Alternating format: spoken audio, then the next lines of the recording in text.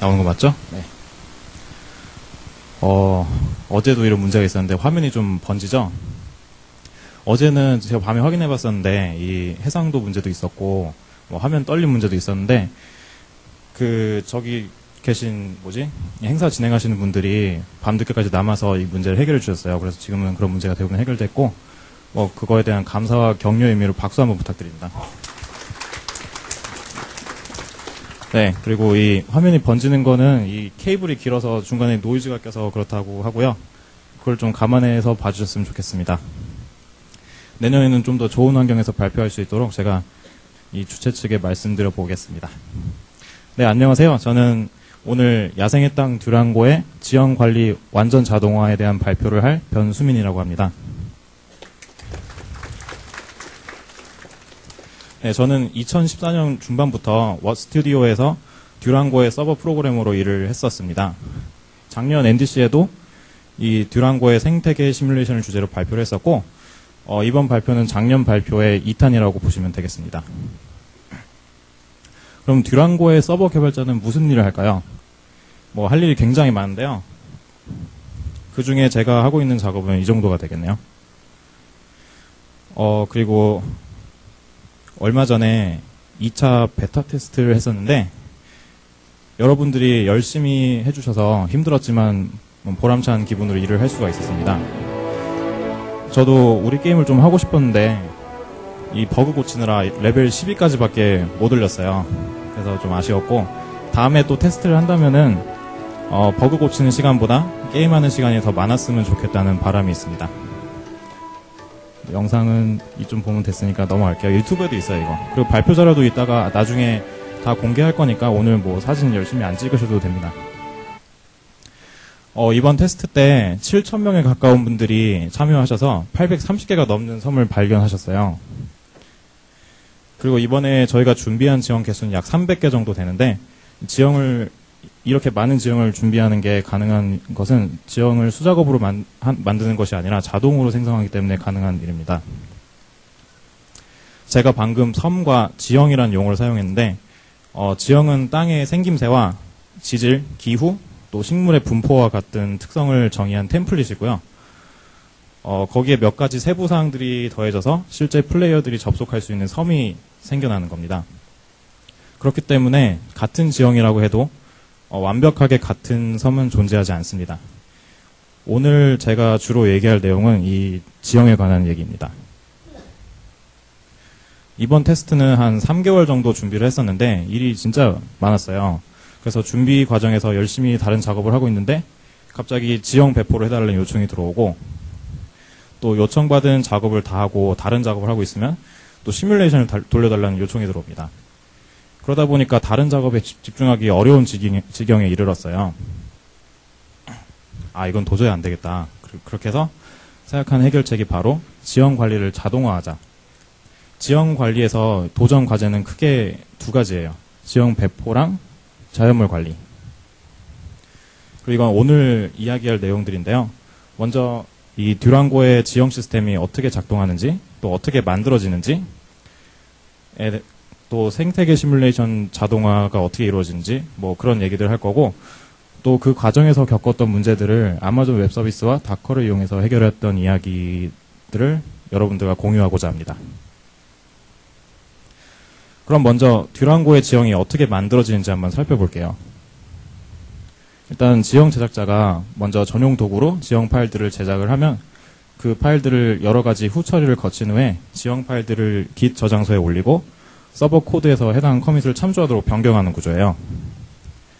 또 지형 제작에 필요한 프로그램들이 몇 가지 있는데 이 WorldGen이라고 하는 지형 파일을 제작하는 도구와 지형 관리 도구가 있습니다.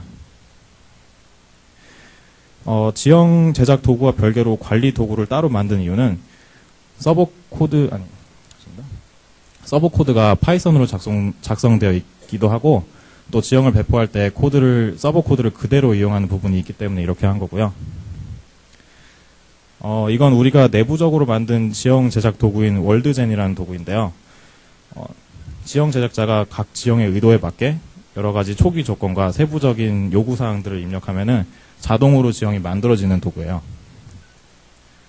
그렇게 생성된 지형 파일들을 가지고 어, 여러 가지 후 처리를 하는데 이 중 하나가 바로 이 파일을 청크별로 나눠 놓는 것입니다.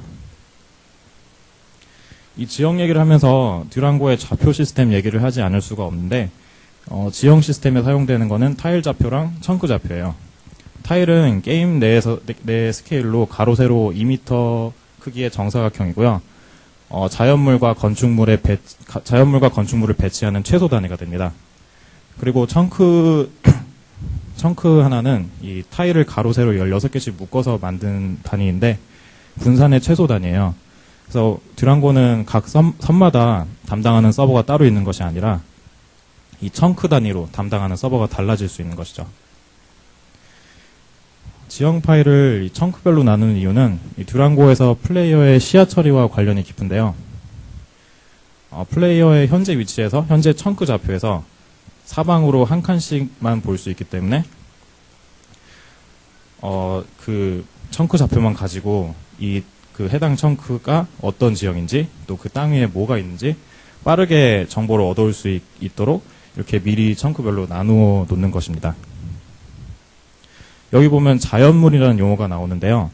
이 발표에서는 여러 가지 식물들과, 식물들과 광물 그리고 기타 채집 가능한 모든 것을 자연물이라고 부르겠습니다.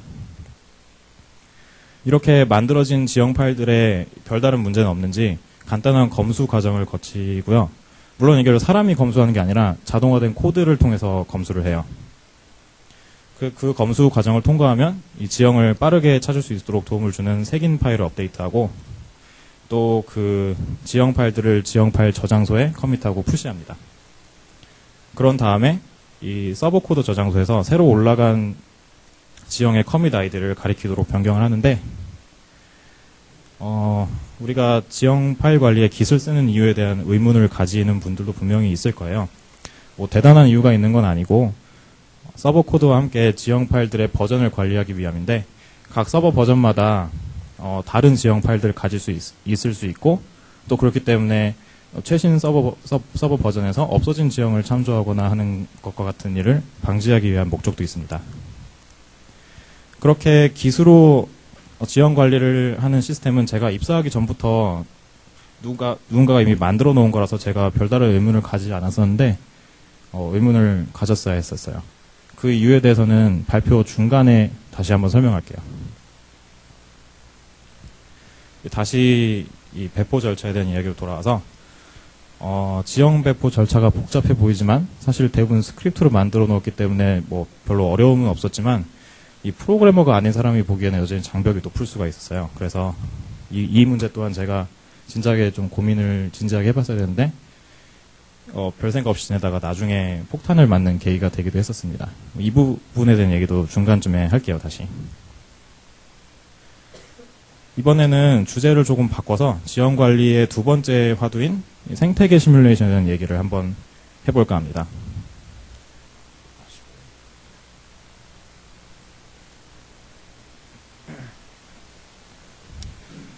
듀랑고의 플레이어들은 생존을 위해서 항상 무언가를 채집합니다.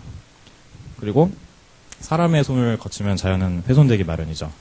이것은 현실 세계에서뿐만이 아니라 게임 속의 세계에서도 마찬가지인데 이 훼손된 자연을 복원하려면은 어떤 것이 몇 개나 없어졌는지 알아야 되기 때문에 어, 이 섬의 최초 상태와 비교를 해서 부족한 자연물의 종류와 수량을 파악합니다. 어, 그리고 훼손 상태가 일정 수준 이상이 될 경우에 필요한 자연물의 종류와 개수를 생태계 시뮬레이터에 전달합니다. 우리는 이 자연물 목록을 매니페스트라고 부르고 있고요. 그렇게 요청을 받은 생태계 시뮬레이터는 어, 각 열심히 계산을 해서 각 자연물들의 생장 조건과 주변 환경을 고려해서 이것들을 어느 위치에 배치하면 좋을지 결정을 하고 그 결과를 어, 돌려줍니다. 결과적으로 자연물 분포 자체는 태초의 상태랑 비슷하게 맞추어지는 경향이 있는데 어, 개별 자연물들의 위치는 그 주변 환경과 어, 주변 환경에 따라서 달라질 수 있는 거예요. 예를 들어서 플레이어들이 어떤 지역에서 나무를 다 벌목을 하고 그 지역에 집을 짓는다면은 그 지역을 피해서 다른 곳에 나무가 생겨나는 식이죠. 그렇게 해서 로컬 머신에서 이 시뮬레이션을 돌리고 그 결과를 원격 서버에 반영해 줍니다. 그리고 이 생태계 시뮬레, 시뮬레 이션에 대한 자세한 기술적 내용은 작년 저의 NDC 발표를 참고하셔도 좋을 것 같아요.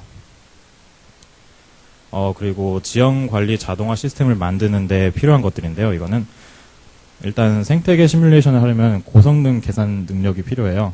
그리고 플레이어들이 어떤 행동을 하느냐에 따라서 이 시뮬레이션의 어, 실행 주기와 작업 규모가 달라질 수 있고요. 또 병렬화를 위해서 여러 대의 머신에서 한, 어, 동시에 실행될 수 있어야 하고 자유롭게 규모를 늘렸다가 줄였다가 할 수 있어야 됩니다. 근데 이 지형 관리 시스템이 꽤나 복잡해요. 지형 관리 도구를 실행하기 위해서 갖춰야 하는 것들이 이것저것 많죠. 그리고 지형 관리 도구와 기타 필요한 것들을 같이 배포해야 되는데 이걸 한 대만 배포하는 게 아니라 여러 대의 머신을 배포하게 됩니다. 문제는 이 배포 스크립트가 복잡해질수록 그리고 배포할 machine의 수가 많아질수록 중간에 무언가가 잘못될 확률이 높아진다는 것입니다.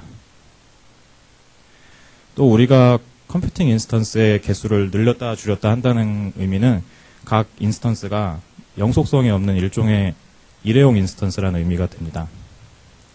instance 수를 늘 때마다 우리의 코드를 새로 배포해야 될 수도 있고요. 어, 또 그렇기 때문에 우리의 코드를 쉽고 빠르고 걱정 없이 배포할 수 있는 방법이 무엇이 있을까 하고 고민을 하, 해보게 됐습니다. 그래서 얻은 결론은 다커를 한번 써보자.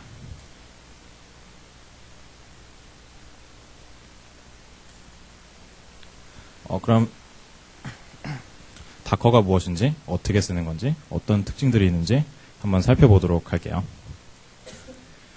Docker는 어, 소프트웨어가 구동되는데 필요한 코드, runtime 환경, 시스템 도구, 라이브러리와 같은 것들을 담고 있는 컨테이너를 제공합니다.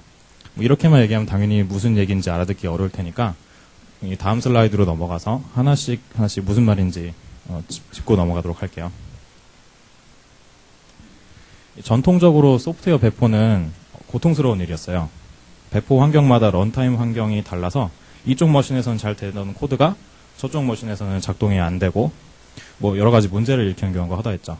그럴 때마다 우리는 아니 내 컴퓨터는 잘 되는데 당신 컴퓨터가 문제가 아니냐 이런 식으로 변명을 하기도 했었습니다.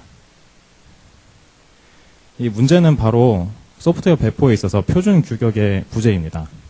일반적으로 우리가 작성하는 코드는 자급자족적이지 못하고 여러 가지 외부 환경에 의존해서 돌아가기 때문에 어, 돌아가게 되는데 이 구체적으로 어떤 외부 환경에 의존하는지 그것들을 어떻게 마련해야 하는지 이것들을 명시하고 전달하는 방법이 명확하지 않아서 명확하지 않다는 것이 문제입니다. 그래서 물류 업계 같은 경우는 이 컨테이너라는 통일된 규격을 만들어서 물건의 종류에 상관없이 전 세계 어디로든 배송이 가능하도록 문제를 해결했는데 우리는 왜 그렇게 하지 못할까? 어떻게 보면 굉장히 첨단화된 산업이라고 인식되고 있는 IT 업계에서 이런 문제를 아직도 해결하지 못하고 있다는 점이 이상해 보일 정도입니다.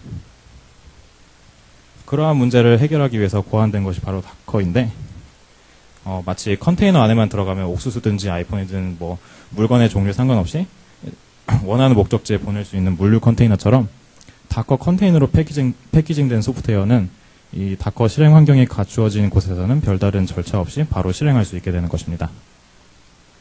사족을 하나 덧붙이자면은 이 Josh Berkus라는 유명한 아저씨가 그 성경의 구절에 빗대어서 표현한 소프트웨어 배포의 일곱 가지 죄악이라는 있는데 일단 뭐 배포 스크립트를 작성하지 않고 배포할 때마다 이 수동으로 명령어들 다 실행을 한다거나 아니 뭐 staging 서버 따위 누가 신경 쓰겠어 대충 싼 걸로 하나 마련해놓자 근데 이 staging 서버는 라이브 서버랑 최대한 비슷해야지 라이브 서버에서 발생할 수 있는 문제를 최대한 일찍 발견할 수가 있겠죠.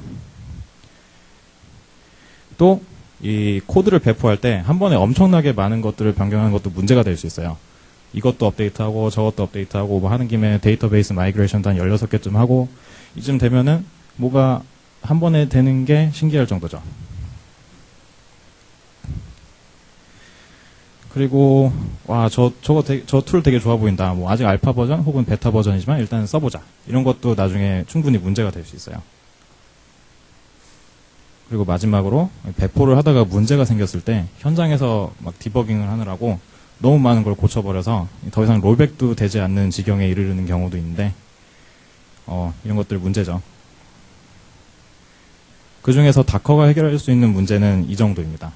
일단 Docker 컨테이너 자체가 소프트웨어 구동에 필요한 모든 것들을 담고 있기 때문에 배포 스크립트를 굳이 작성하지 않아도 Docker 컨테이너, 컨테이너만 배포하면 되는 것이고 또 이 대규모 변경에 대해서는 제 개인적인 생각으로는 코드 배포 자체가 굉장히 어려운 일이기 때문에 어, 자주 하기에 부담이 되고 그렇다 보니까 뭔가 더 이상 배포를 하지 않으면 안 되는 지경이, 지경에 이르렀을 때 배포를 몰아서 하- 하는 경향이 있는 것 같은데 이것도 배포가 씌워진다면 해결이 될수 있는 문제겠죠. 마지막으로 현장에서 디버깅을 하다가 뭔가 잘못되는 경우가 있다면 어, 마지막으로 어, 배포했던 다커 이미지를 다시 올리면 되는 것이기 때문에 이 문제 또한 쉽게 해결할 수 있습니다. 어 그러면 가상머신 이미지로도 이미지로 이- 이런 것들을 빌드해서 배포하면 되는 것이 아닌가 하는 의문을 가져볼 수도 있는데요. 어느 정도 일리가 있는 말이에요. 가상머신도 게스트 OS 간 환경을 격리시킬 수 있고 코드가 구동되는데 필요한 모든 것들을 담고 있을 수 있기 때문입니다.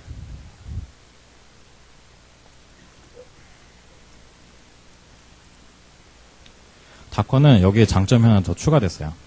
각 컨테이너마다 OS 커널을 따로 띄울 필요가 없기 때문에 overhead가 적고 그- 어, 따라서 처음 최초 이 초기 실행 속도가 비교도 안 되게 빠르다는 장점이 있죠. 이렇게 각 guest OS를 실행하기 위해서 낭비되는 자원이 없기 때문에 어, 같은 성능의 host machine이라도 더 많은 수의 컨테이너를 띄울 수가 있어요. 실제 우리 테스트 기간 동안 한 대의 machine에 수십 대, 수십 개의 컨테이너를 동시에 띄우기도 했었어요. 그렇다면 가상 머신도 아닌 것이 어떻게 컨테이너마다 다른 환경을 갖출 수 있을까 하는 의문, 의문이 들 수도 있는데요.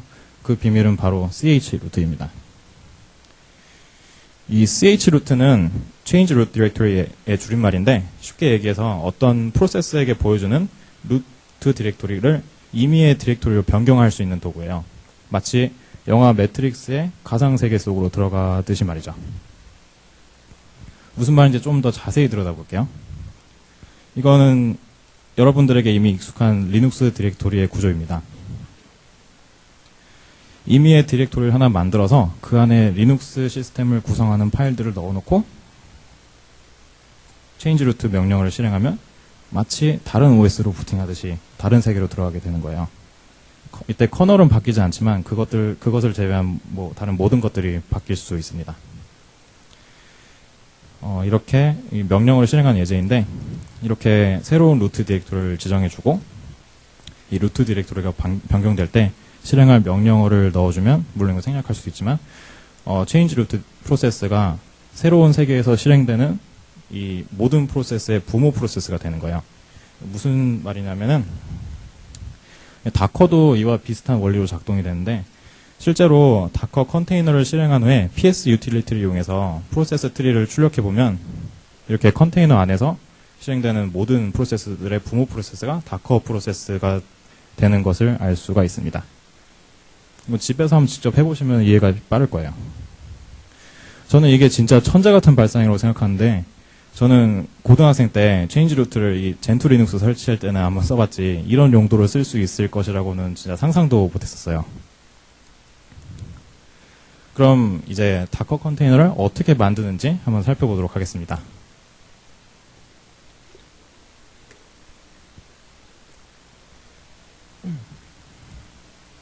자, 어, 여기 Dockerfile이라는 게 있는데 이건 다커 이미지를 빌드하는 절차를 명시하는 파일이에요. 그 나머지 부분에 대한 설명들은 슬라이드를 넘기면서 할게요. 먼저 예제를 하나 볼게요. 이 베이스 이미지를 지정할 수가 있는데 이거는 다른 사람이 만들어 놓은 다커 이미지로부터 위에 무언가를 쌓아 올려 나갈 수 있게 되는 거고요. 또 관리자를 지정할 수 있는데 이건 뭐 필수는 아니에요. 그리고 필요하다면 환경 변수를 설정할 수도 있고 뭐 필요한 소프트웨어 패키지를 설치를 하고 작업 디렉토리도 변경을 할 수도 있고 그 안에서 다른 명령어도 수행하고 또 local 파일을 이 Docker 이미지 안쪽으로 복사할 수도 있어요. 그리고 이 진입점 명령어라는 것은 Docker 이미지가 실행될 때 기본적으로 수행된 명령어인데 나, 나중에 override 할 수도 있어요. 그래서 여기까지 실행이 끝나면은 이 Docker 이미지 build가 끝납니다. 그리고 Docker 이미지가 현재까지 수행된 명령어들의 결과를 모두 담고 있어요.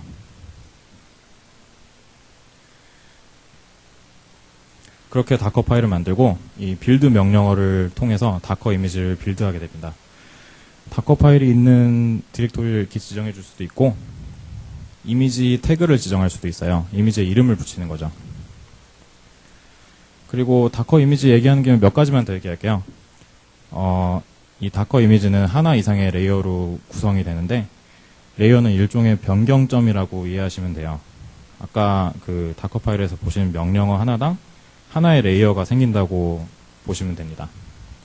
그러니까 하나의 명령어가 수행될 때마다 무엇인가 변경이 되고 그것이 하나의 layer로 어, 표현, 표현이 된다고 보시면 된, 되는 겁니다.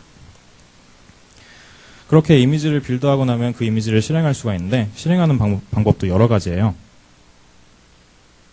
이렇게 이미지 이름만으로 실행할 수도 있고 버전을 명시해서 실행, 할 수도 있고 어, background에서 실행할 수도 있고 port mapping이라든가 뭐 환경 변수 같은 거를 override해서 실행할 수도 있고 interactive mode를 실행해서 shell을 열 수도 있어요. 그렇게 이미지를 실행하면은 이 컨, 그 최상위 쪽에 컨테이너 layer라고 하는 읽기 쓰기가 모두 가능한 layer가 하나 더 생깁니다. 그래서 이미지 build가 끝나면은 이 상태가 되는데 이 layer들은 다 읽기 전용이에요. 변경이 불가능해요. 그래서 이미지 실행 후에 변경되는 파일은 이 모두 컨테이너 layer에 기록이 되는 것입니다.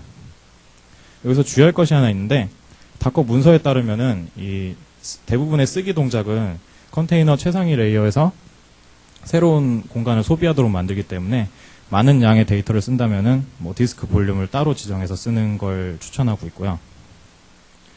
또 Docker는 여러 가지 종류의 storage driver를 제공하는데 각, 각 driver마다 성격이 다 다르기 때문에 어, 하나의 driver가 모든 면에서 우위를 점한다고 보기는 어렵습니다. 그래서 각자의 상황에 맞는 드라이버를 고르는 것이 중요하고 어, 잘 모르겠으면 그냥 기본값으로 쓰면 돼요. 또 Docker 문서를 읽다 보면은 이 content addressability라는 개념이 나오는데 저 대학원 세미나 수업 때 다뤘던 주제라서 되게 반가웠어요. 그래서 예전에는 이 레이어 아이디가 랜덤 UUID였지만 이 지금은 레이어의 내용에 따라서 hash 값이 발급되는 방식으로 바뀌었어요. 그렇기 때문에 서로 다른 Docker 이미지라도 같은 내용을 가진 레이어가 있다면 상호간 공유가 가능해집니다.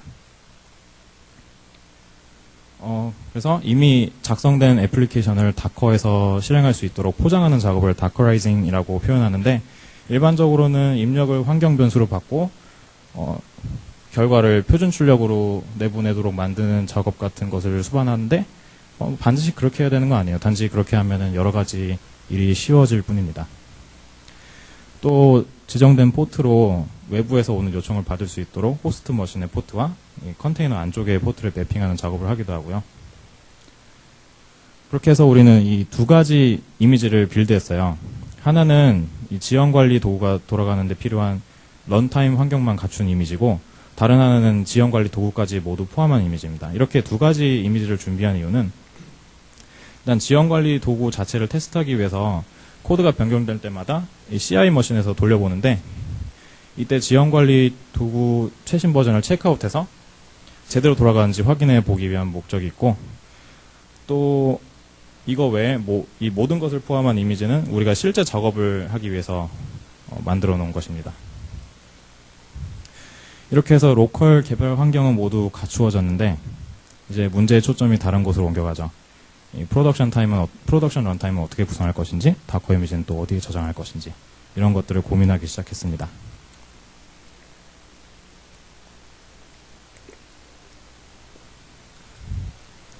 그럼 지금까지 신나게 Docker에 대해서 얘기를 했으니까 이 한숨 돌리고 어, Docker를 실행할 수 있는 환경을 제공하는 Amazon ECS 에 대해서 얘기를 한번 해볼게요.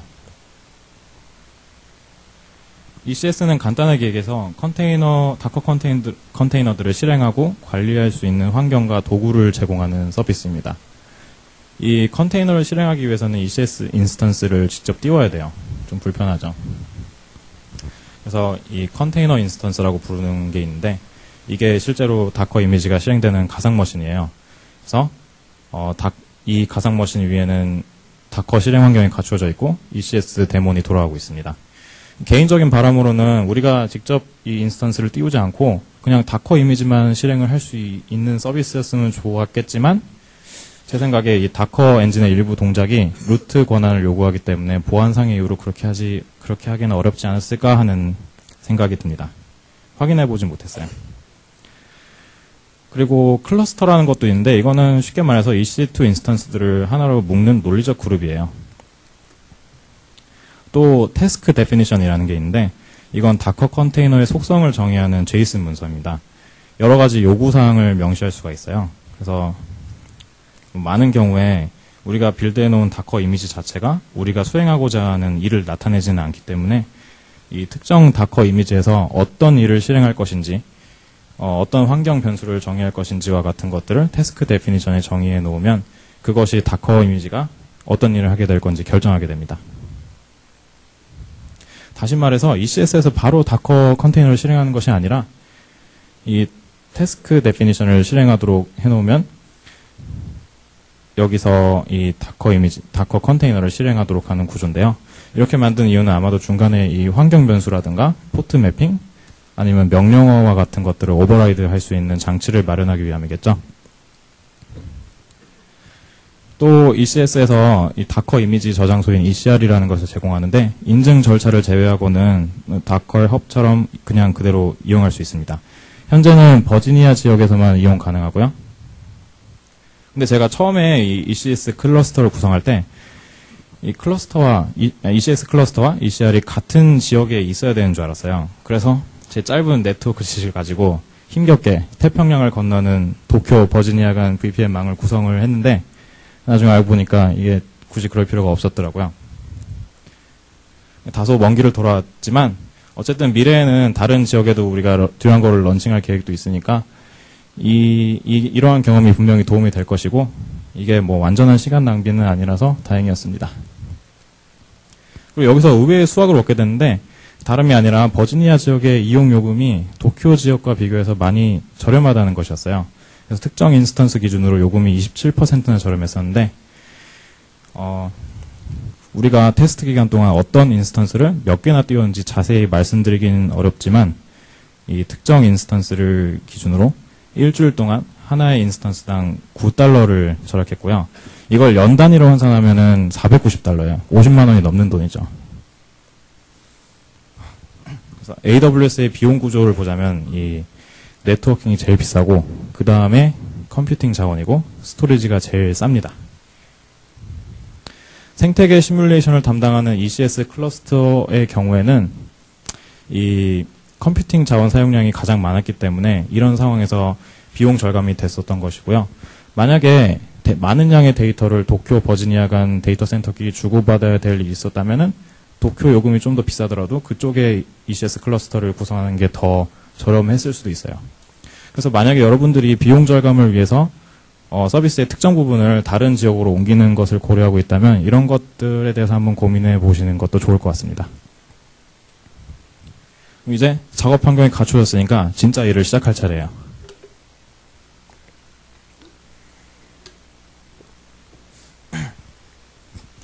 앞부분에서 지형을 제작하고 배포하기 위해서 이런 과정을 거쳤었다는 걸 얘기했었는데요.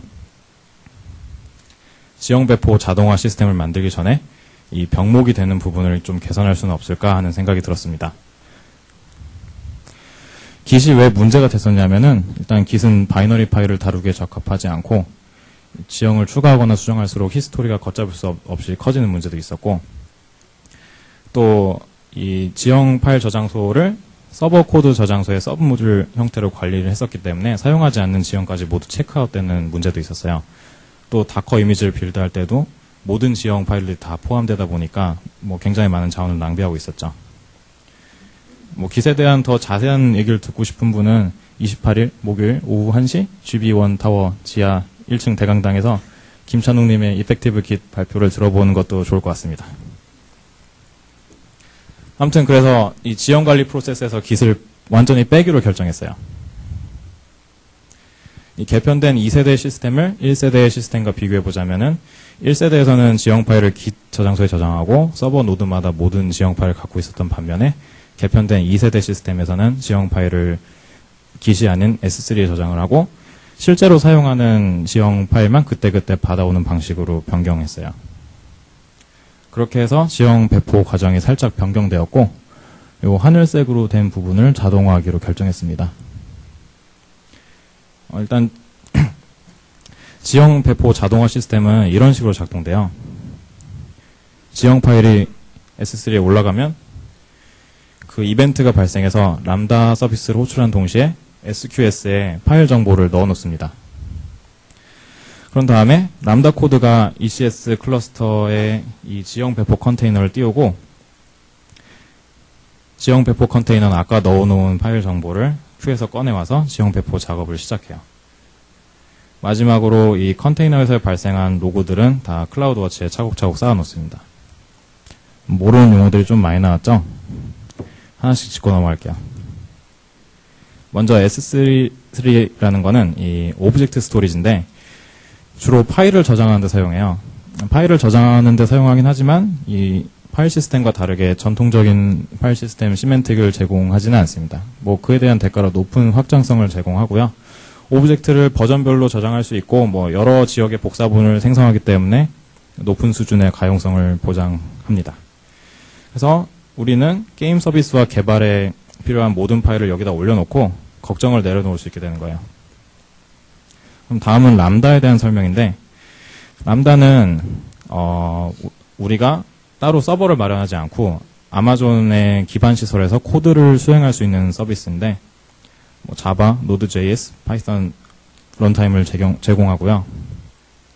명시적으로 호출할 수도 있고 AWS의 다른 서비스에 어떤 이벤트가 발생했을 때 trigger 되기도 합니다.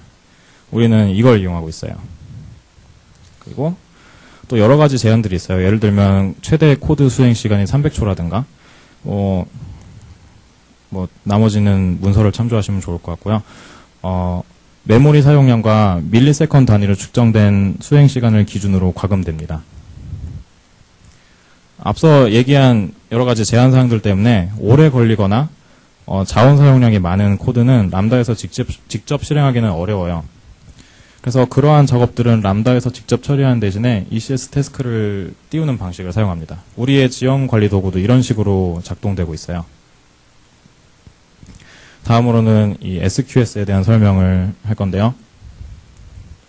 이건 아마존에서 제공하는 분산 메시지 큐 서비스입니다.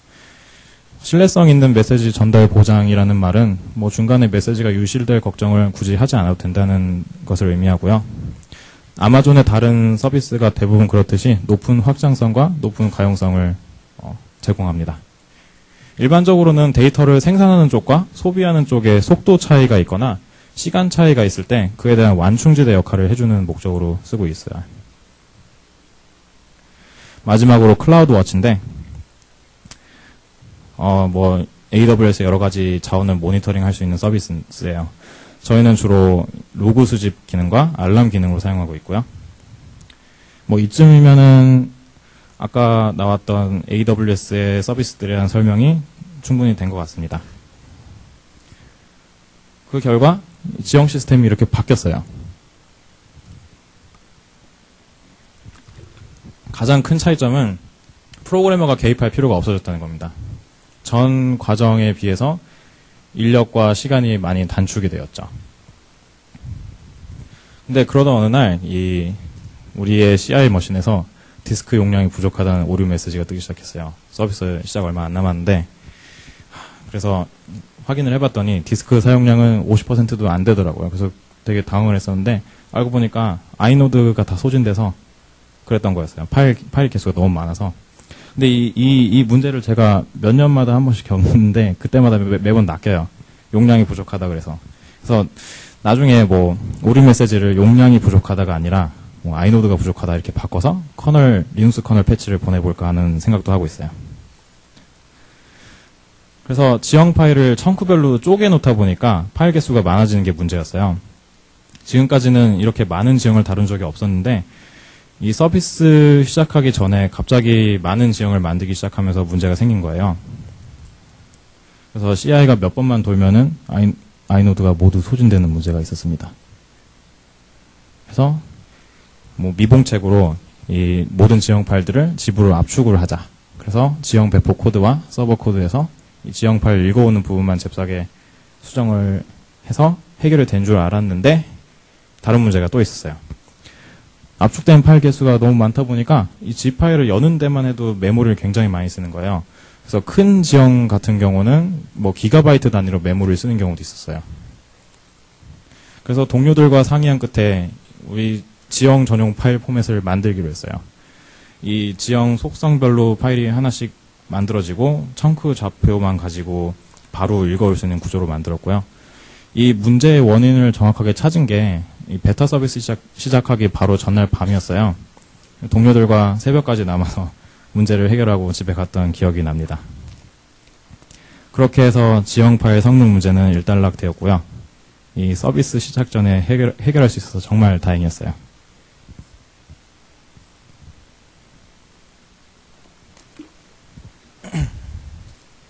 그럼 지형 배포는 자동화가 됐으니까 이제 생태계 시뮬레이션을 자동화할 차례입니다. 자동화할 것도 참 많죠. 생태계 시뮬레이션에 대한 얘기는 앞서서 간단하게 얘기했었죠. 자연 상태를 파악하고 필요한 경우에 부족한 것들을 보충해 주는 것을 얘기합니다. 자연 상태 파악이라는 것은 말 그대로 지금 보고 있는 섬의 어느 위치에 어떤 자연물이 있는지 이런 것들을 파악하는 일들을 말하고요. 이거는 제가 자연 상태를 파악하기 위해서 만든 디버깅 도구인데 자연물 분포 현황을 상세하게, 보여, 상세하게 보여줍니다. 물론 제가 이걸 하루 종일 들여다보고 있지는 않아요. 그래서 최초로 구현했던 자동화 시스템은 모든 섬을 돌아다니면서 자연 상태를 전수 조사하는 시스템이었는데 매우 비효율적인 방법이었죠. 구현하기는 간단했지만. 그래서 이런 식으로 작동이 됐어요. CloudWatch에서 주기적으로 이벤트를 발생시키면 람, 그게 람다 함수를 호출하고 이 람다 코드가 ECS에 있는 park ranger task를 깨웁니다. 그러면 걔가 모든 섬을 돌아다니면서 자연 상태를 파악하고 훼손 훼손 상태가 심각한 경우에는 이 시뮬레이션 작업 요청을 queue에 넣어 놓습니다. 그리고 다른 한쪽에서는 정원사 태스크를 여러 개 띄워요. 그래서 그 다음에 이 정원사들이 돌아다니면서 아까 큐에 넣어 놓았던 작업 요청을 보고 시뮬레이션을 실행하는 작업을 하는 것이죠. 이 작업은 큐가 빌 때까지 계속됩니다. 아까 설명드린 ECS 태스크 정의 기억나시죠? 이 똑같은 지형 관리 도구 컨테이너라도 task definition을 어떻게 정의하느냐에 따라서 얘가 수행하는 작업이 달라지게 됩니다. 어, 하지만 이 사람의 손이 닿지 않은 지역을 굳이 조사하러 다닐 필요가 없을 것 같다는 생각이 들어서 이 실질적으로 채집 활동이 일, 일어나는 섬만 조사에 대해서만 자연 상태를 파악하고 자연물을 보충하는 방법 방식으로 바꾸기로 했어요. 그래서 바뀐 시스템은 이렇게 작동됩니다. 플레이어가 자, 자연물을 채집하면 그 행동이 큐에 기록이 돼요. 그런 다음에 ECS에서 이 자연물 채집 기록을 취합해서 어떤 선부터 생태계 시뮬레이션을 돌릴 건지 결정을 합니다.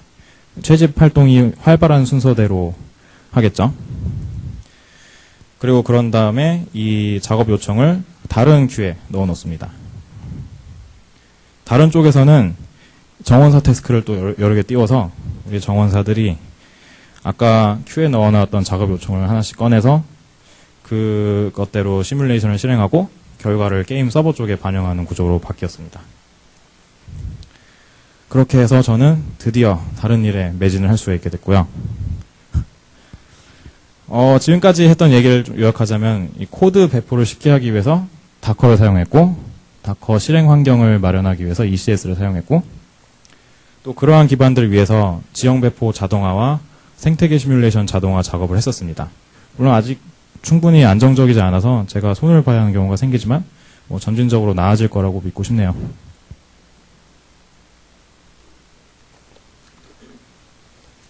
끝으로 이번 필드에서는 해결하지 못했지만 앞으로 해결할 문제에 대해서 간단하게 얘기를 해볼게요. 맨 처음에 우리가 ECS 클러스터를 만들 때는 대충 이 정도면 되겠지 하는 수준에서 ECS instance를 몇 개 띄워놨어요. 근데 어떤 때에는 처리 용량이 남아 돌아서 비용을 낭비할 때도 있었고 어떤 때에는 용량이 부족해서 작업이 계속 밀리는 바람에 제때 자연물이 보충되지 못하는 경우도 있었습니다. 그렇게 되면 성난 플레이어들을 마주할 수도 있어요. 아, 그러한 문제들에 대해서 아 그런 문제에 대한 해결책이 바로 이 auto scaling입니다. CloudWatch를 이용해서 CPU 사용량이나 메모리 사용량과 같은 다양한 지표를 수집해서 이것들 적절히 활용해서 수요 변화에 탄력적으로 대응할 수 있는 시스템을 만드는 것이 목표고요. 또 ECS에서 제공하는 지- 지표 이외에 뭐 우리 게임에서 제공하는 지표 있잖아요. 뭐 동시 접속자라든가 채집된 자연물의 수와 같은 게임 내 지표들을 참조하는 것도 이용할, 이용할 수 있을 것 같다는 생각이 듭니다. 그 다음으로는 이 복잡한 workflow를 어, 관리하기 편하도록 만들어주는 SWF라는 도구가 있는데 지금은 뭔가 duct tape로 감아놓은 것 같이 복잡하게 묶여있는 이 지형 관리 시스템의 각 부분들을 이걸 이용해서 좀 깔끔하게 묶어볼 생각입니다. 그리고 spot instance를 사용해서 비용을 절감하고 싶은 생각도 있는데요. spot instance는 마치 재고품이나 남는 비행기 좌석과 같- 남는 비행기 좌석을 싸게 팔듯이 아마존에서 사용하지 않는 컴퓨팅 자원을 싸게 파는 시스템인데 이 수요와 공급에 따라서 가격이 실시간으로 변화합니다. 그래서 일주일간의 테스트 기간 동안 CPU가 8개, 16개, 36개 뭐 이런 식의 고성, 고성능 instance들을 이용했었는데 원래 가격의 5분의 1 수준으로 이용할 수가 있었어요. 그래서 우리가 특정 instance 타입에 대해서 지불하고자 하는 최대 가격을 제출하고 그 가격이 시장 가- 가격보다 높거나 같으면 그 해당 타입의 instance를 사용할 수 있게 되는 거고요. 그렇게 해서 사용 중이라고 하더라도 가격이 우리가 제시한 것보다 올라가면은 instance가 바로 꺼지게 돼 있어요. 그래서 spot instance를 이용해서 비용을 절감하고자 한다면 이 instance 중 일부가 꺼지더라도 적절히 대응할 수 있는 아키텍처가 필요하게 됩니다. 마지막으로 지형을 이렇게 미리 제작하고 배포하는 것은 우리의 해- 어, 최종 해결책이 아니라 과도기적 해결책이라는 것을 말씀드리고 싶습니다. 그래서 우리의 궁극적인 꿈은 이런 건데 지형을 꼭 build time에 배포해야 되는 것이 아니라 평소에 지형을 만들어서 pool에 넣어뒀다가 필요할 때마다 서버 코드 업데이트 없이 적절히 꺼내 쓰는 시스템을 만드는 것이 우리의 궁극적인 목표입니다. 어, 오랜 시간 집중하느라고 고생 많으셨고요.